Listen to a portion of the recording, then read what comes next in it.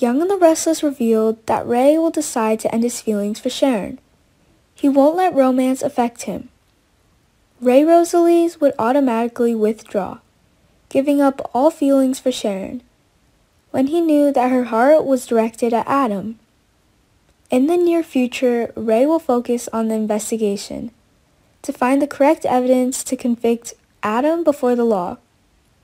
Rey wouldn't buy the idea that a recovering stroke victim is responsible for all the shady things that have happened from grown thallium to poison to stolen jewels.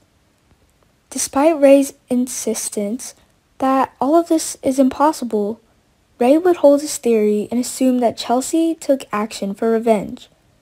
Sharon would ask Faith to help convince Rey to reconsider everything to acquit Adam. Sharon would find a way to bribe Chloe Mitchell. She acknowledges that only Chloe has enough evidence to accuse Chelsea. She will defend Adam's innocence and mention the texts she believes were sent by Chelsea via Adam's tablet. Will Chloe betray Chelsea?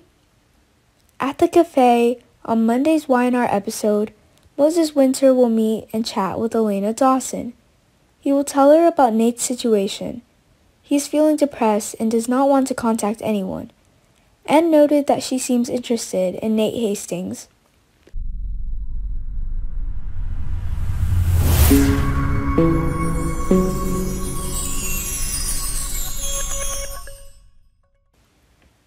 Moses will want to be the love bridge between Nate and Elena. He will suggest Elena and Nate should date, but Nate will admit that they tried and failed. Nate has decided to give up chasing Elena because her heart belongs to Devon. He does not want to try and hurt himself. The arrival of Nick Newman will want Chelsea to clarify what Sharon knows, but Nate will advise against pushing Chelsea too hard. Chelsea held her rest and did not want anyone to pressure. A moment later, Chelsea will pretend to gasp that she needs Detective Rosales. Will Nick recognize her fake face? Sharon would explain her hypothesis that Chelsea poisoned Rey and ensnared Adam, but Nick would have doubts. Sharon will receive updates on Chelsea's rebound breakthrough and smirk as she will know it's the response to her visit. Next, Faith is facing a court inquiry round, and she will talk to Christine Williams in the hospital waiting area about how things are going to work out in court. Christine will be Faith's defense attorney in the court. Christine would take full responsibility of defending Faith before the trial. When Faith asked the judge, Christine would promise that in her experience, the judge was tough but fair.